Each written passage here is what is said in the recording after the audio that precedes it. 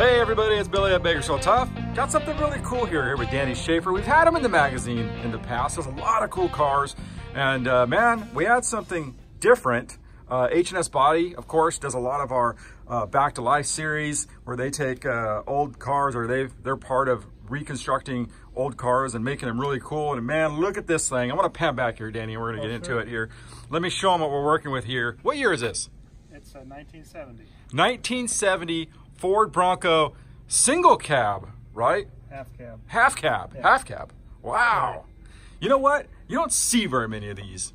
No, you sure don't. Uh, they uh, they're pretty rare, actually. The half cabs. Really? Yeah. Yeah. I'm going to pan back here. Let's kind of do a. Now, how, how long have you worked on this thing? It's been a while, right? Because it was a long process. Yeah, it was quite a, quite a process. Probably probably a three year deal. Three years. Yeah. Yeah. Now, did you see this thing somewhere? Like, what made you want a half cab?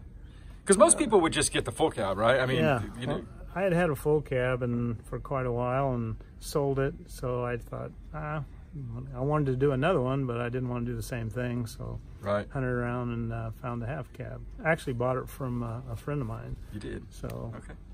All right, let's take a look at it. So let's start up here. Now there's some aftermarket suspension on here, right? You've kind of upgraded that a little bit. Right. Yeah, we've lifted it and put the, you know, the double shocked it. Yeah. How, how much lift is on this thing? You have any idea? Uh, no, it's only about a three inch lift. Okay. Yeah. It's got 35s on the tires and raises it up a little bit. Yeah. Tried to keep it, you know, stocky looking. I like nostalgia looking, yeah. Yeah, a little nostalgia looking, but yet with Yeah. all the modern uh, amenities. Right. Uh, Now you like the old school stuff, right? Yeah, I mean, do. You do. I mean, some of your. I think the last one we did was a Corvette, right? it was a 54 54 Corvette, Corvette. of Yeah. course. So you're, you definitely like the old school stuff. I'm gonna Yeah. kind of go out to the front here, let them see this thing. Yeah, man, that's cool. Super cool. Now, wrap around. Now you said you get a lot of uh, attention with this thing, right? A lot, lot of attention. A lot of people. A lot of people, you know, recognize what it is. You know, some Yeah. of the stuff you do, they don't even. People don't even know what it is. But uh, a lot of people, especially my age group, they, they remember the Broncos, and Right. so they were they were pretty popular. Yeah. We'll kind of go over here. Yeah, that is so nice. The man, the attention to detail. Of course, H and S always has attention to detail and all their stuff. That you know, but this thing, man, I looked at it earlier. You had your detail guy out here, man. This thing is Yeah. flawless. Yeah, H and S does a great job. They they really do. They uh, take their time and they're real. Uh, you know, they're real uh, picky, I guess you'd say. And uh, Yeah. So they, I know this one right here. He'd been talking about. He wanted us to do for a long time. I mean, Uh-huh. when his the words, man, I, I got to get that Bronco in there, man. We got to get that in there. And finally, you know, for him to bring it out to us, I was like, man, this thing. I could see why he was excited about it coming up. Now you got the spare wheel in the back, right? Yeah, I uh, probably don't need it, but I just thought it would. Uh, I don't know. I like. Uh, I like the look of it in there. Yeah.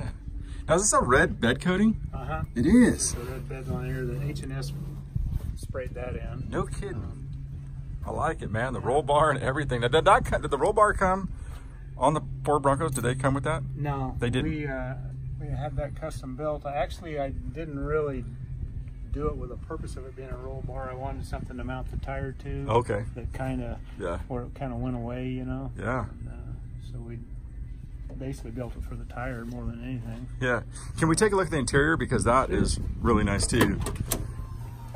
They got the retractable steps. That's kind of cool, right? Yeah, that was uh, um, direct off road. Uh, put those on. We bought uh, bought them for, a F one hundred Ford, Mhm. and then cut them down. Oh, no kidding. And uh, yeah, stuck them on there. Pat Gerber, right? Pat Over- Gerber, yeah. They uh, Oh man, that is nice. they do quite a bit to it, you know. Yeah. That Had a real handling problem with it at first. You know, they, their short wheelbase wanted to wander all over and couldn't figure it out. Couldn't figure it out, and then uh, Pat Gerber figured it out and uh, uh, changed the angle of uh, some of the bushing brackets in the front and got it where now it's just perfect. So Really? I was gonna say, did it handles good on the street? handles great. Really? Handles great. Because it does have a short wheelbase, right? Yeah, yeah, they weren't known for handling well, but uh, this one really handles well now. He nailed it. Yeah, that's great. They came stock with what? This was a 302. It was a 302. 302. Okay. uh-huh. And you stroked it. We stroked it, made a 347 out of it. 347, right?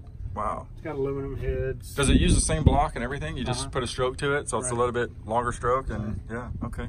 got aluminum aluminum heads and uh, Oh, you do, okay. headers. And, Yeah. Now this is injected. Is that right? Is it? It's, yeah, it's, injected, right? Fuel injected. uh-huh. Yeah.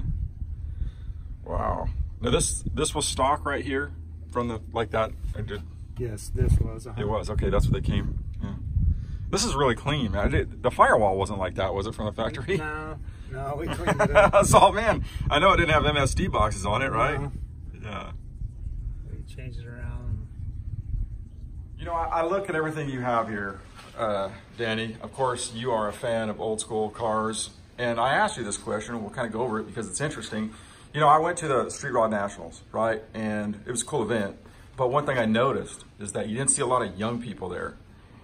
And so the question I've, you know, I've, I've always wondered is that is this is the hot rod culture going to be like what it is now or where it has been 20 years from now?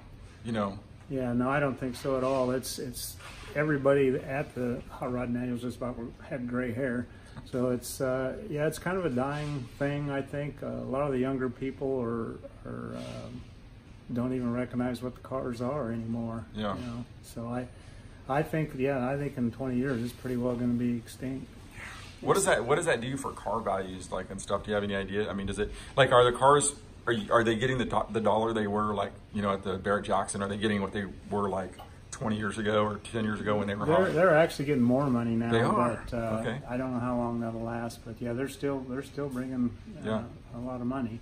It costs so much money to build one though from from stock, like you know one of these Yeah, quality of cars. It costs so much that uh, and you can never get your money back. You may I was gonna ask you that. You're better to buy one, you're right? better to buy one because you may get sixty cents on the dollar back if No you're kidding. lucky. But uh, You have because you have some over there. I got to come back again, man, because you have some stuff over there that definitely deserves. I mean, you got something with with over 800 horsepower. right, yeah. right? So Yeah. we definitely got to get, and of course, this one right here has been featured in the magazine. This is a Corvette 1950 54. 54, right? And this is a beautiful machine. I can't believe anybody, you driving up past anybody and someone not looking at this thing now, man. That is unbelievable. Yeah. I'm But, uh, I'm getting ready to take this one over to.